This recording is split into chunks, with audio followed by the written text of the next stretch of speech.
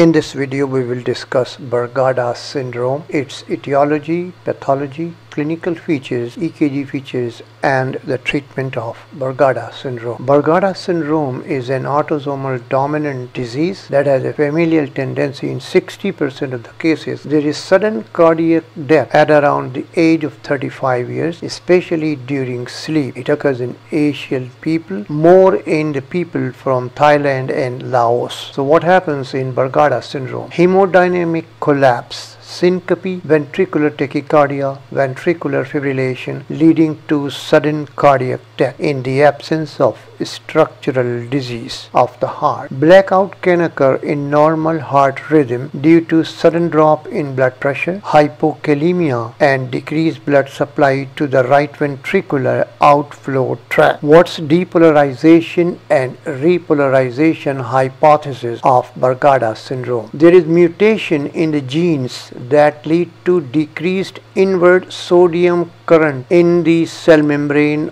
of the right ventricular outflow tract. So what sodium causes in the action potential? Sodium causes a rapid rise in the initial upstroke of the action potential, the phase zero of the action potential where it causes rapid entry into the cell. Decreased sodium entry causes decreased magnitude of the action potential. So if there is decreased sodium entry then the magnitude of the action potential is also decreased. Decrease in the early peak current in Brugada syndrome leads to slowing of the electrical conduction through the heart muscle leading to conduction slowing. Sodium channel abnormality causes repolarization defect affecting the right ventricle. Unopposed potassium outflow current leads dramatic action potential shortening in the epicardium due to abnormalities between the electrical properties of the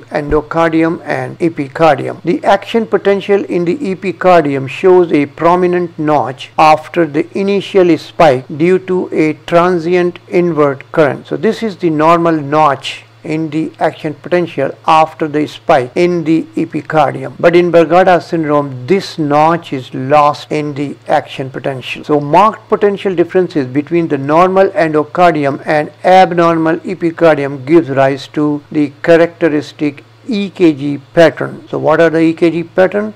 ST segment elevation in the anterior chest lead. This is the normal anterior chest lead V1 and this one has a elevated ST segment in Brugada syndrome in the lead V1, 2 and 3 leading to local reentry and life-threatening ventricular arrhythmia in the absence of structural heart disease. And the third hypothesis is that of scarring especially in the right ventricular outflow tract because this disorder occur around the age age of 35 not before that so there may be some scarring at that age in the right ventricular outflow tract leading to Brugada syndrome. EKG of these patients simulates right bundle branch block but the ST segment is elevated. There are two types of ST segment elevation in Brugada syndrome in the right chest lead. ST segment elevation may be cove shape in the anterior chest lead or it may be saddleback shape ST segment elevation. These patients also have right bundle branch block. So what are the drugs implicated in causing Brugada syndrome?